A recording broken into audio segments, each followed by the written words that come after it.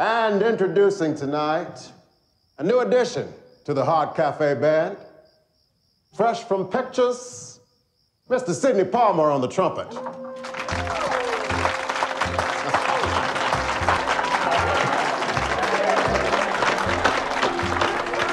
hey, Sid, you want to say a few words?